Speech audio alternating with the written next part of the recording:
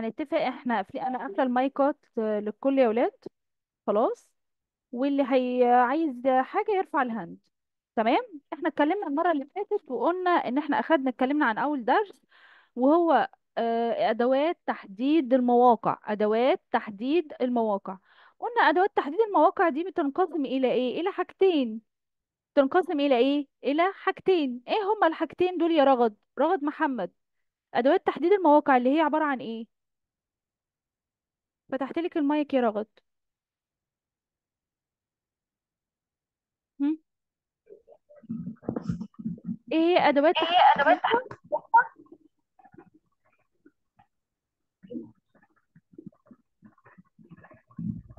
عارفة يا رغد؟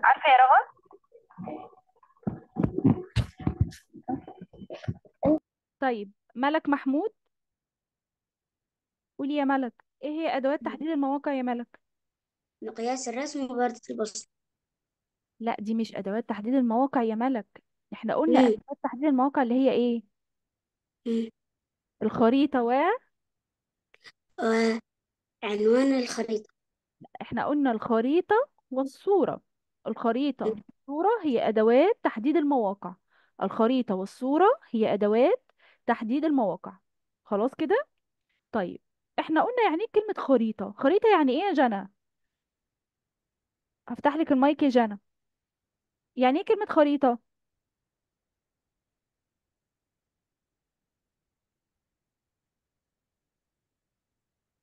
فتحت لك المايك؟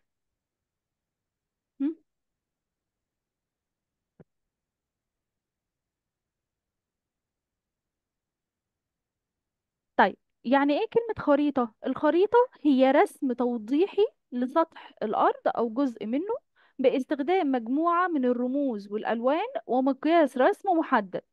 تاني الخريطة هي رسم توضيحي لسطح الأرض أو جزء منه باستخدام مجموعة من الرموز والألوان ومقياس رسم محدد.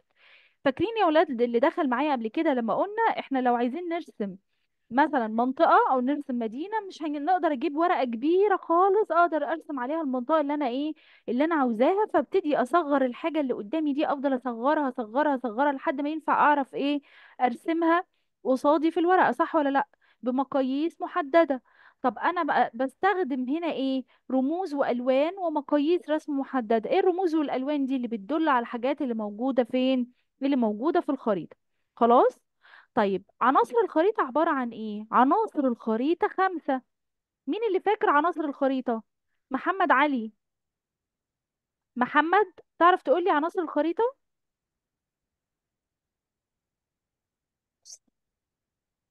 فتحت لك المايك يا محمد. عناصر الخريطة إيه هي؟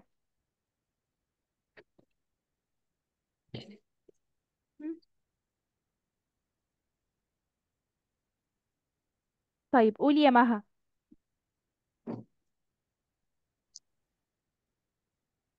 فتحت لك المايك. إيه هي عناصر الخريطة يا مها؟ وأنا أقفل المايك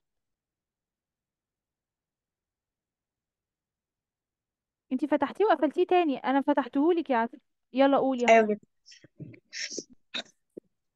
مفتاح الخريطة عنوان الخريطة نجم وردة الخريطة. مم. وكمان مم، كيس الرسم. مقياس الرسم.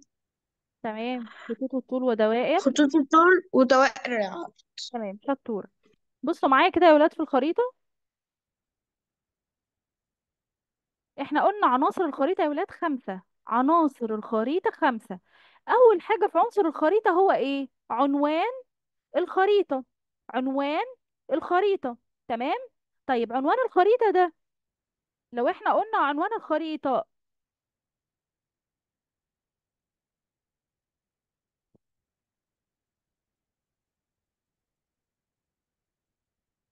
قلنا عنوان الخريطة يا ولاد. مكتوب هنا إيه؟ أنا عندي خريطة حلوة أهيت. تمام؟ دي خريطة مين؟ خريطة المدن المصرية. تمام؟ طيب أنا عرفت منين إن هي خريطة المدن المصرية؟ من خلال إيه؟ من خلال العنوان بتاع الخريطة. يعني أنا لو ماسكة ورقة دلوقتي ومرسوم فيها الخريطة بتاعتي أنا مش هعرف إيه اللي موجود داخل الخريطة إلا من خلال إيه؟ عنوان الخريطة. يبقى عنوان الخريطة ده هو اللي هيقول لي على الحاجات اللي موجودة هيعرفني الخريطة دي بتاعت إيه. تمام كده؟ يبقى دي خريطة ده عنوان الإيه؟ عنوان الخريطة. طب تاني حاجة أخدناها. تاني حاجة هو مفتاح الخريطة. بصوا معايا على الشاشة. مفتاح الخريطة. مفتاح الخريطة ده فايدته إيه يا ولاد؟ أنا دلوقتي وأنا في الخريطة بتاعتي بستخدم إيه؟ مجموعة من الرموز والألوان. خلاص؟ مثلا حطيت هنا إيه؟ عند قا- القاهرة اللي هي عاصمة مصر حطيت فيها نقطة حمراء.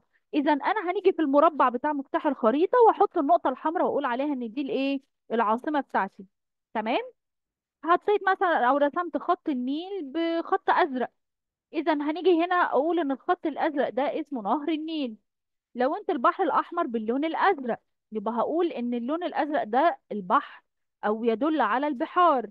خلاص؟ يبقى مفتاح الخريطة بيعمل لي إيه؟ بيوضح لي الرموز والألوان اللي موجودة على إيه؟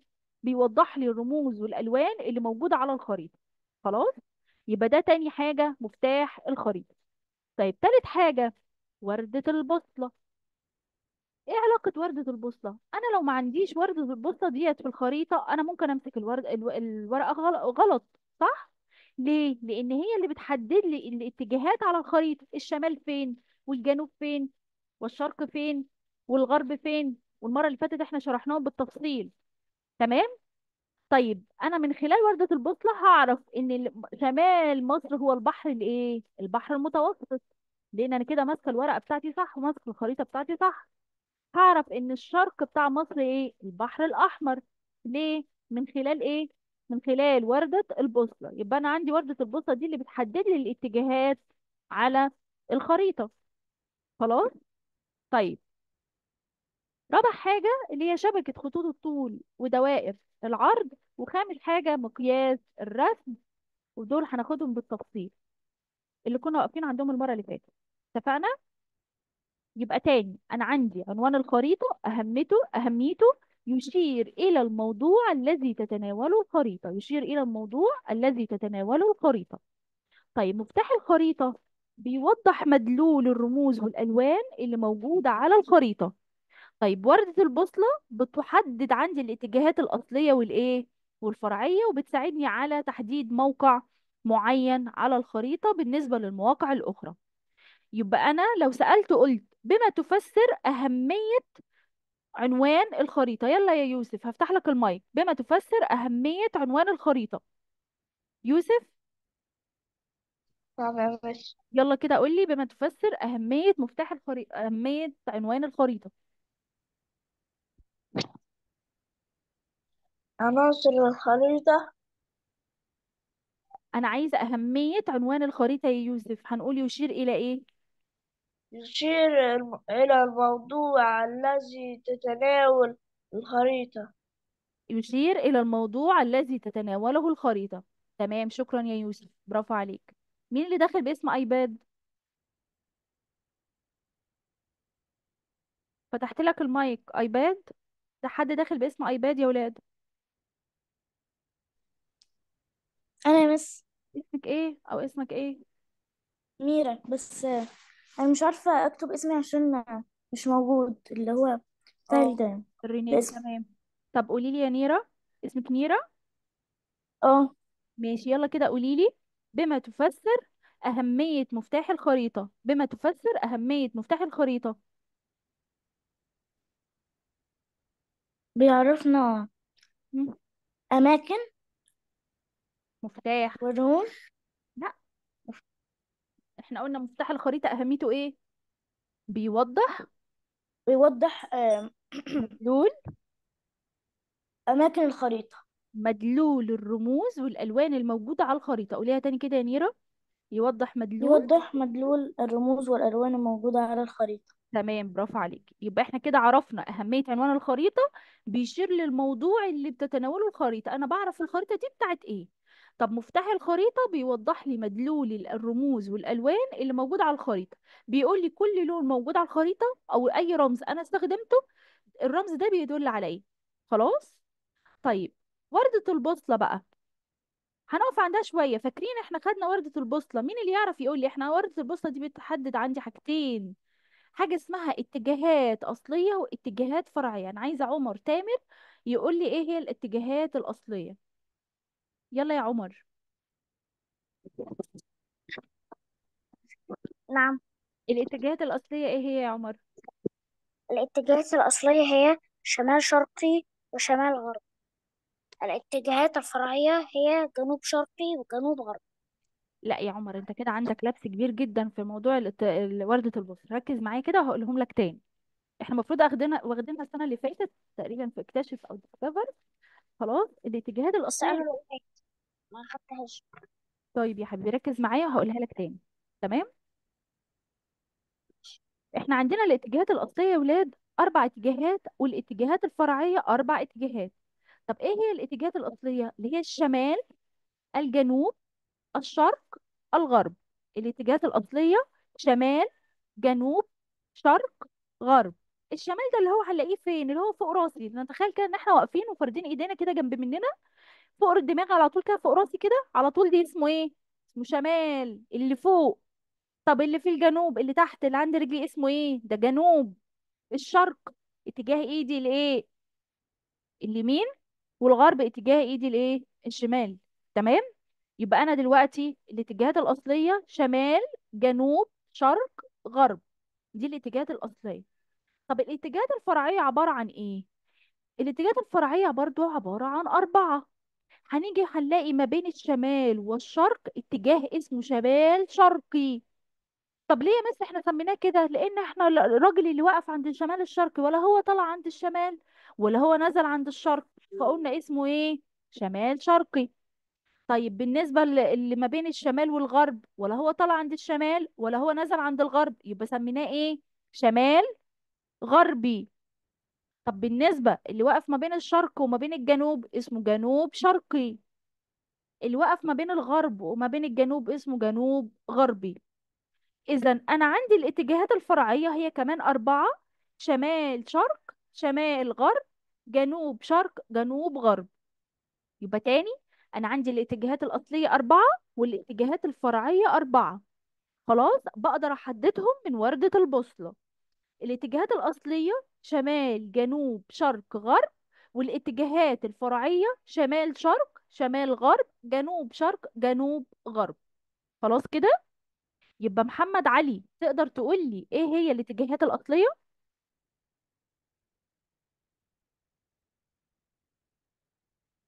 محمد.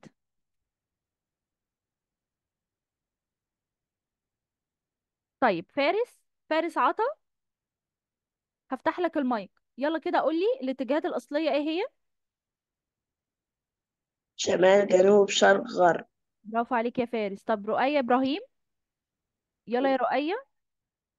قولي لي إيه هي الاتجاهات الفرعية يا رؤية؟ شمال غربي. مم؟ جنوب غربي. ماشي. شمال. شمال؟ شمال غرب شمال غربي شمال شرقي جنوب غربي جنوب شرقي. قوليهم تاني كده يا رؤية شمال شرقي مم؟ وشمال غربي. جنوبي وشمال جنوبي. مفيش شمال جنوبي. ما ينفعش الشمال والجنوب مع بعض ما ي- ما ي- ما يحطوش على بعض خالص. شمال شرقي شمال غربي. جنوب شرقي جنوب غربي. واليوم كان تاني كده يا رؤية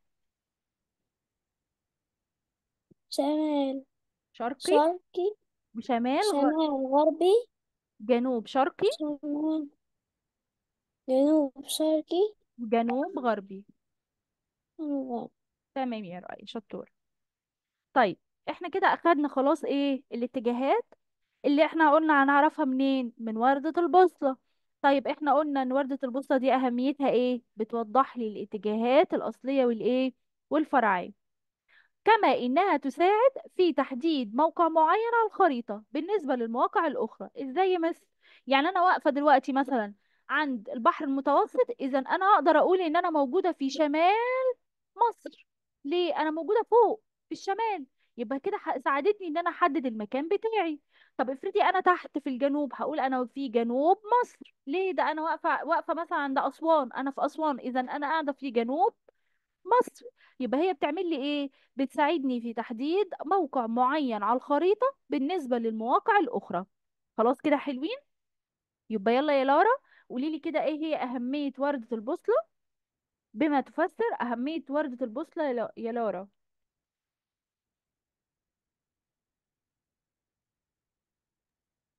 هم؟ أهمية وردة البوصلة إيه؟ أنا بس مش شايفة السؤال. أنا بسألك أهمية وردة البوصلة؟ هم؟ توضح توضح. أيوه. ال- الاتجاهات. الاتجاهات. الأصلية. توضح الاصليه الاتجاهات الأصلية. الاتجاهات الأصلية والإيه؟ والفرعية؟ والفرعية تمام. وساعدت على إيه كمان؟ على تحديد المواقع؟ ساعد على تحديد موقع معين على الخريطة بالنسبة للمواقع الإيه؟ بالنسبة للمواقع الأخرى. خلاص كده؟ تمام. طيب يلا بينا كده. شبكة خطوط الطول ودوائر العرض يا حلوين. أهميتها إيه شبكة خطوط الطول ودوائر العرض؟ بتحدد موقع المكان بالنسبة لخطوط الطول ودوائر العرض. يعني أنا من خلال خطوط الطول ودوائر العرض أقدر أقول إن مثلا الموقع اللي أنا واقفة فيه يقع بين خط طول مثلا 30 و 45 وما بين دائرتي عرض مثلا 20 و آه، 60 إذا أنا كده إيه بحدد مكان معين بالنسبة لخطوط الطول ودوائر الإيه ودوائر العرض. خلاص؟ يبقى تاني شبكة خطوط الطول ودوائر العرض أهميتها إنها بتستخدم في تحديد موقع المكان بالنسبة إلى خطوط الطول ودوائر العرض. تحديد موقع المكان بالنسبة لخطوط الطول ودوائر العرض. خلاص؟ يبقى إحنا كده عرفنا شبكة خطوط الطول ودوائر العرض أهميتها إيه؟ تمام؟ يلا يا كندا قولي لي كده إيه هي أهمية شبكة خطوط الطول ودوائر العرض؟ كندا حافظ.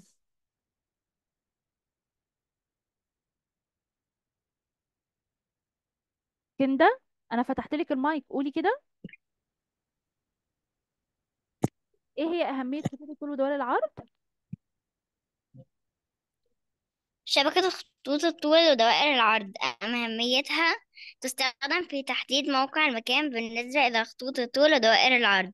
دكتورة برافو عليكي يا كندا خلاص كده؟ طيب إيه إيه هو مقياس الرسم؟ قلنا هو النسبة بين المسافة على الخريطة وما يقابلها على الطبيعة. ال- ال- التعريف ده مهم جدا يا ولاد. خلاص؟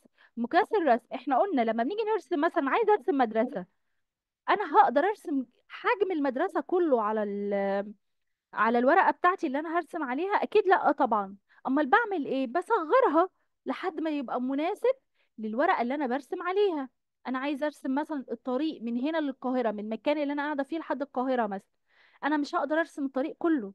طب أعمل إيه؟ أفضل أصغر أصغر أصغر لحد ما أقدر أرسمه. وبعد كده بقى أبتدي أقول بقى إن المسافة مثلا في الطبيعة بتساوي المسافة على الخريطة كذا. خلاص؟ يبقى أنا بحسب النسبة بين المسافة على الخريطة وما يقابلها على الطبيعة. هقول مثلا إن السنتي اللي أنا رسمته على الخريطة بتاعتي بيساوي كيلو 100 كيلو مثلا على الطبيعة والاتنين سنتي بيساوي 200 كيلو. ال 400 سنت ال 3 سنتي بيساوي آه، 400 كيلو. خلاص؟ تمام؟ يبقى أنا كده عرفت المسافة على الخريطة وما يقابلها على إيه؟ وما يقابلها على الطبيعة. يبقى محمود جمال لو قلت لك إيه هو مقياس الرسم هتقولي إيه؟ محمود؟ ما هو مقياس الرسم يا محمود؟ فتحت لك المايك.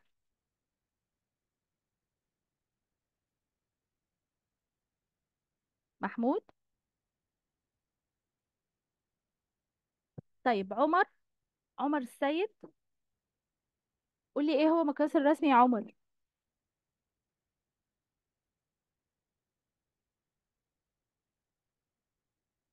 طيب ساندي. قولي يا ساندي. ساندي أنا فتحت لك المايك.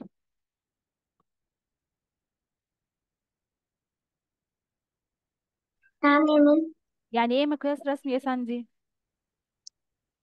مقياس الرسم هو النسبة بين المسافة على الخريطة وما يقابلها على الطبيعة. شطورة يا ساندي برافو عليكي يبقى إحنا عرفنا كده إن مقياس الرسم هو إيه يا ولاد؟ المسافة على الخريطة وما يقابلها على الطبيعة. طيب الخريطة دي ليها أهمية. يعني انت يا مس عمالة تقولي لنا الخريطة معناها كذا وعناصر الخريطة كذا وكل واحدة فيهم ليها أهمية. طب أهمية الخريطة نفسها إيه؟ إحنا بنستخدم الخريطة في إيه؟ بيستخدم الكثير من الأشخاص الخرائط. بنستخدمها في إيه؟ في التعرف على الأماكن. والمواقع المختلفة.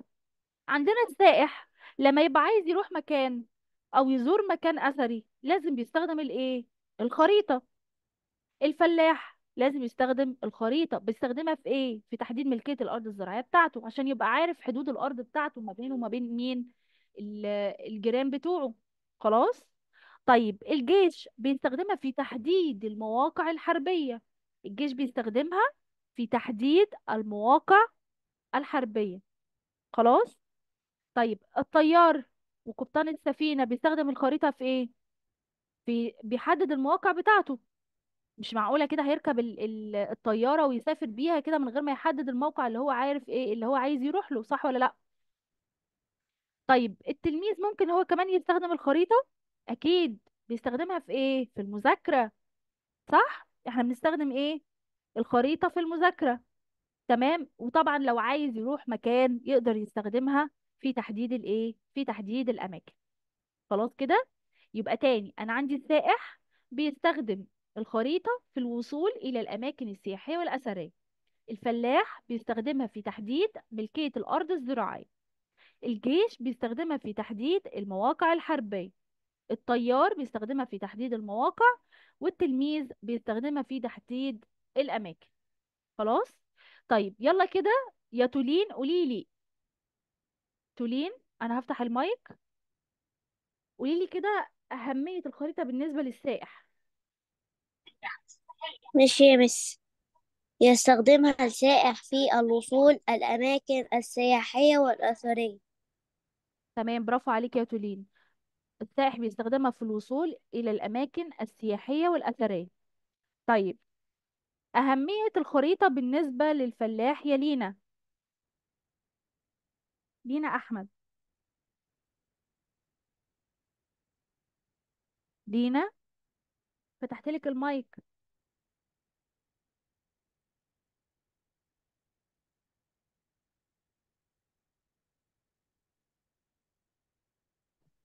ألو؟ يلا يا حبيبتي قولي. أهمية الخريطة بالنسبة للفلاح إيه يا لينا؟ في تحديد ملكية الأرض الزراعية. تمام برافو عليكي. يبقى إحنا عندنا الفلاح بيستخدم الخريطة في تحديد ملكية الأرض الزراعية. عايزة تقولي يا ملك محمود؟ يلا يا حبيبتي قولي. قولي لي إيه هي أهمية الخريطة للجيش؟ أو الجيش بيستخدم الخريطة في إيه لتحديد المواقع الحربية. في تحديد المواقع الحربية. شطورة. طيب أنا عندي الطيار وقبطان السفينة. أهمية الخريطة بالنسبة لهم يا معاذ عدنان معاذ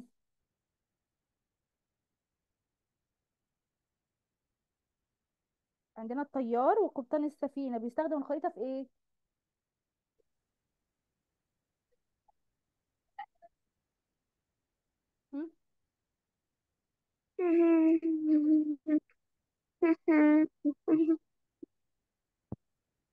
بيستخدمها في تحديد المواقع. ركز معايا يا معاذ. بيستخدمها في تحديد المواقع. خلاص؟ طيب بالنسبة للتلميذ بيستخدمها في إيه يا ضحى؟ ضحى تامر؟ التلميذ بيستخدم عندي الخريطة في إيه؟ في المذاكرة وتحديد المو... المكان الذي يريد السعي تمام. أنا عندي التلميذ بيستخدمها في المذاكرة وتحديد الأماكن التي يرغب في الذهاب إليها. خلاص كده؟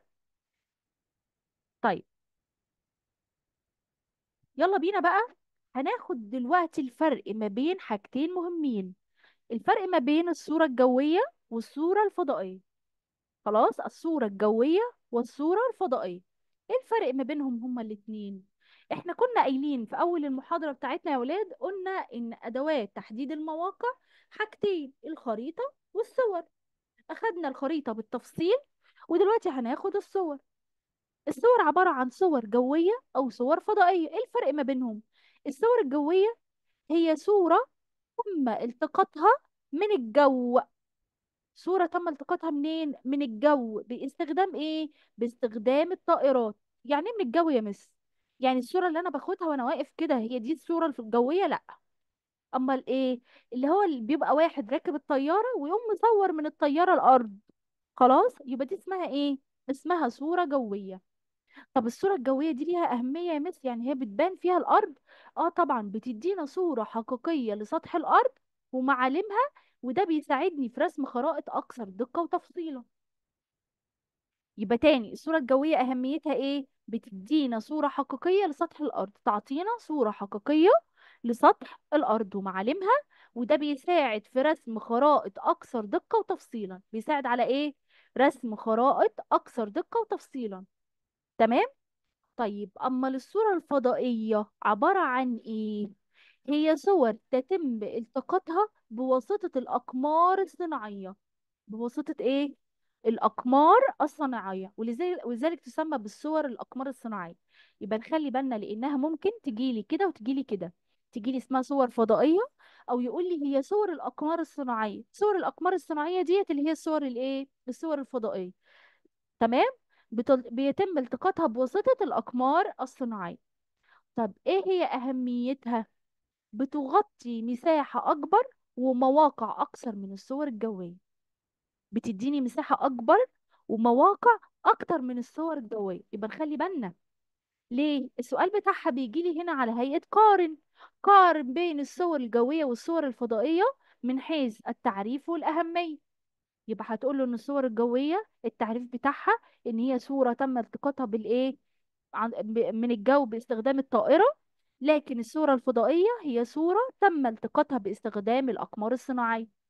هنقول إن الصورة الجوية أهميتها بتديني صورة حقيقية لسطح الأرض بتبقى أكثر دقة وتفصيلا الخرائط بتاعتها لكن الصور الفضائية بتديني مساحة أكبر ومواقع أكثر من الصور الجوية. طب السؤال ممكن يجي لي هنا إزاي تاني؟ ممكن يجي يقول لي اختر من بين الأقواس. الصور أو الصورة اللي بتساعدني في رسم خريطة أكثر دقة وتفصيلا. هي الصورة الجوية ولا الصورة الفضائية؟ طالما قال لي أكثر دقة وتفصيلا يبقى هو عايزني أقول هنا إيه؟ الصورة الجوية. طب لو قال لي بتديني مساحة أكبر ومواقع أكثر من الصور الجوية يبقى هي الصور الإيه؟ الفضائية. بتدي مساحة أكبر في الصور بتاعتها. خلاص كده؟ تمام؟ يبقى تاني. يلا يا عاطف. عاطف محمد. تعرف تقول لي إيه هو مفهوم الصورة الجوية يا عاطف؟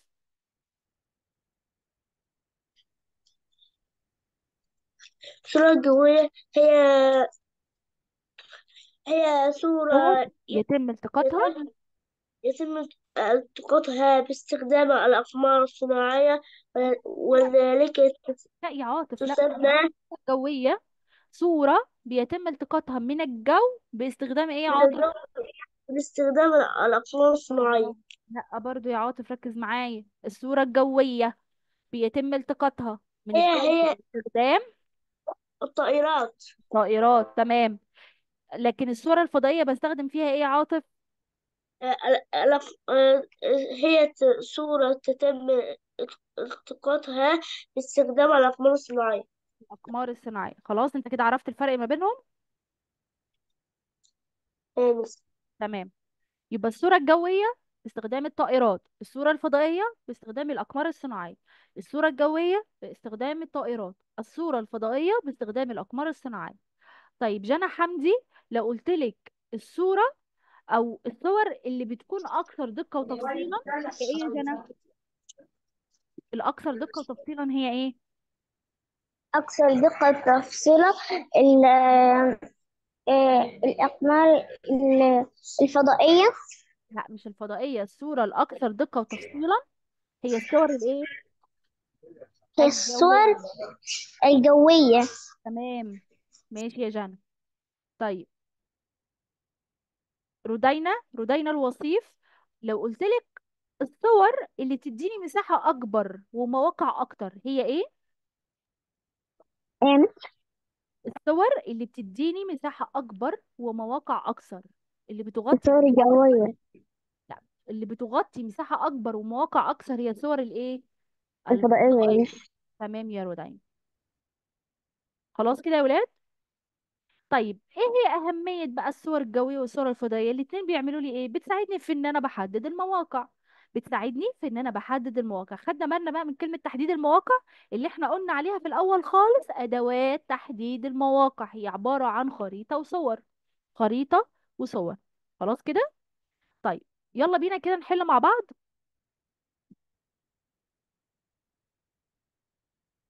لو أنا عندي الخريطة اللي قدامي ديت أسماء محمد تعرفي تقولي لي يشيل رقم واحد لإيه؟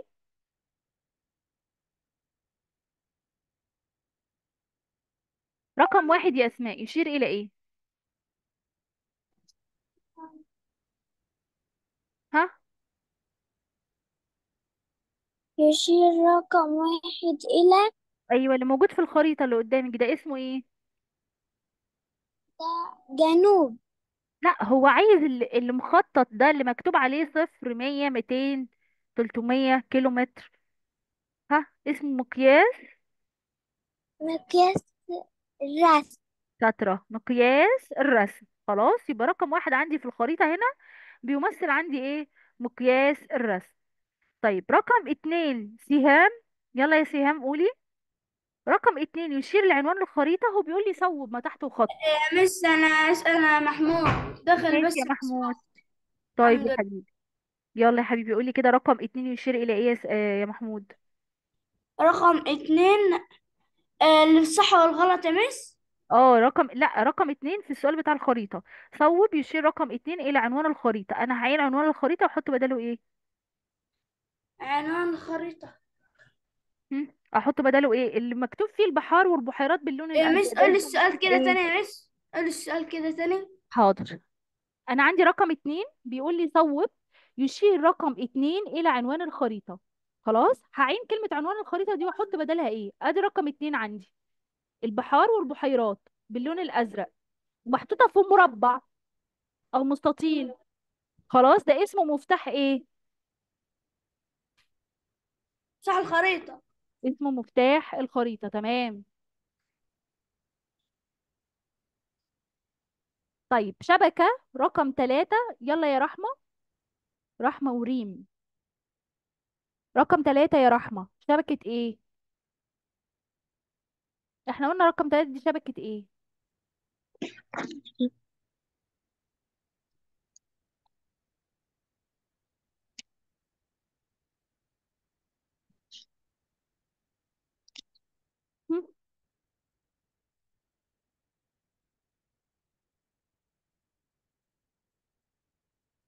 طيب عمر بسام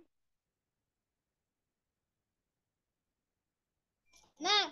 يلا قولي كده رقم ثلاثة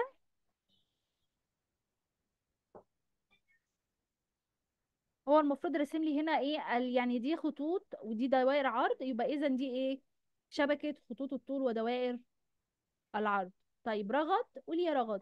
تعرفي تقولي لي رغد عادل. أنا فتحت لك المايك. شبكة الإحداثيات. شبكة الإحداثيات. طب قولي لي كده يا رغد حدد العناصر المفقودة في الخريطة المقابلة. تعرفي تقولي لي الخريطة دي رئيسها إيه؟ حدد العناصر المفقودة في الخريطة؟ آه. مفتاح الخريطة؟ مفتاح الخريطة أهو. هم.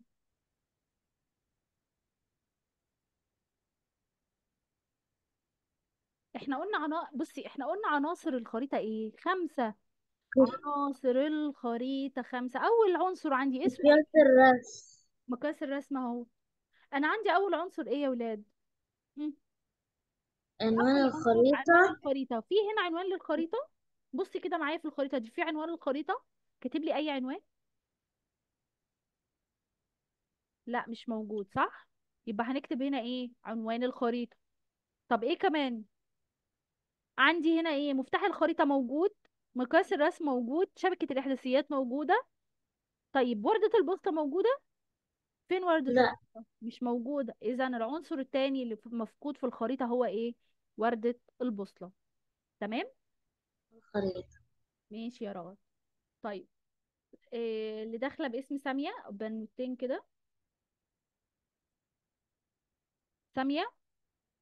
يلا كده أول سؤال معايا بصح وخ... آه، صح وخطأ. يوضح مفتاح الخريطة مدلول الرموز والألوان والأشكال فيها صح أم خطأ؟ فتحت لك المايك.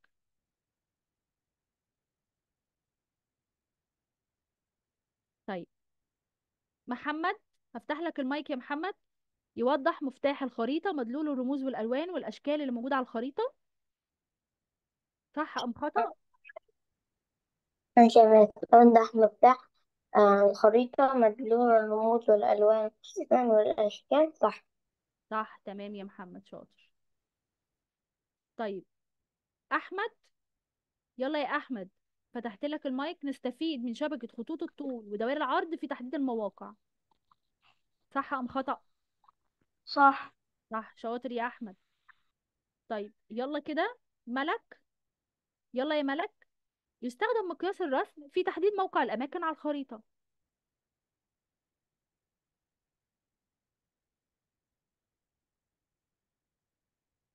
ملك؟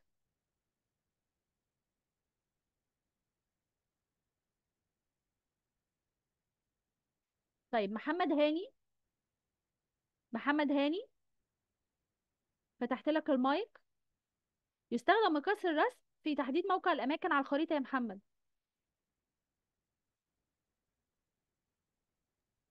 آم، صح أم خطأ؟ أنهي سؤال بس رقم ثلاثة يستخدم مقياس الرسم رقم ثلاثة الأماكن على الخريطة. آه. دي صح؟ لا مش صح. إحنا قلنا مقياس الرسم ده بيحدد النسبة بين من النسبة بين ال- النسبة بين المسافة على الخريطة وما يقابلها على الطبيعة. خلاص؟ النسبة بين المسافة على الخريطة وما يقابلها الطبيعي. إذا الإجابة هنا إيه؟ الإجابة هنا خطأ. تمام؟ طيب. يلا يا تقى. رقم أربعة يا تقى. تساعد الصور الفضائية في رسم خرائط أكثر تفصيلا ودقة.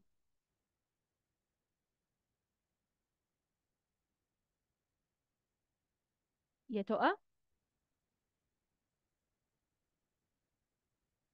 فتحت لك المايك. طيب مصطفى هفتح لك المايك. مصطفى. يلا نعم يا معلم. اتفضل يا حبيبي. رقم أربعة. تساعد الصور الفضائية في رسم خرائط أكثر تفصيلا ودقة. إحنا قلنا إن الصور الفضائية يا مصطفى هي اللي بتساعدني إن أنا أرسم خريطة أكثر تفصيلا ودقة؟ غلط. غلط. برافو عليك. أما المفروض الصورة الإيه؟ قياس الرسم المفروض الصور الجوية. المفروض الصور الجوية. خلاص؟ طيب مصطفى التاني؟ فتحت لك المايك؟ نعم يلا كده قول لي رقم خمسة تغطي الصور الجوية مساحة أكبر من الصور الفضائية. غلط. غلط برافو عليك. طيب ريناد محمد؟ يلا يا ريناد. اتجاه الجنوب الشرقي من الاتجاهات الفرعية. ده صح أم خطأ يا ريناد؟ اتجاه الجنوب الشرقي من الاتجاهات الفرعية. صح. صح برافو عليك يا ريناد. طيب يلا كده. لوجين ولا ال... آه لوجين ياسر. يلا يا لوجين. يمكنك استخدام الخريطة أثناء المذاكرة. ده صح أم خطأ؟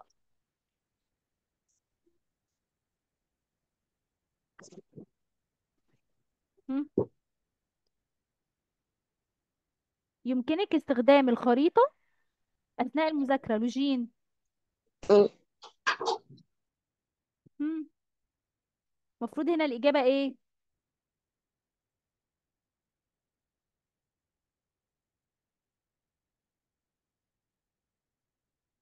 طيب ياسين يلا ياسين أنا فتحت لك المايك قولي كده.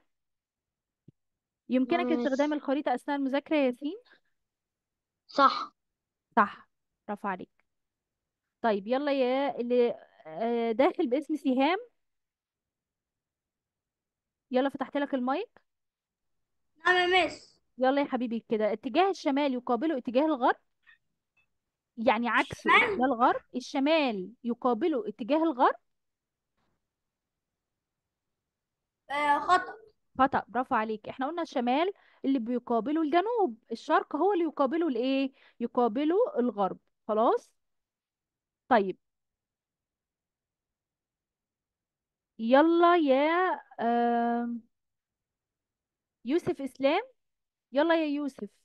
تستخدم وردة البوصلة في تحديد الاتجاهات. نعم صح. صح برافو عليك يا يوسف. ليه؟ لأن هي بتحدد لي إذا كان الاتجاه شرق غرب جنوب شمال. تمام؟ خلاص كده يا ولاد؟ إحنا كده خلصنا الدرس الأول. تمام؟ وحلينا عليه. هنبعت لكم تمرين صغير الج- الجزء ده تحلوه آه، كتثبيت للمعلومة. نشوفكم على خير إن شاء الله المرة الجاية يا ولاد. في رعاية الله.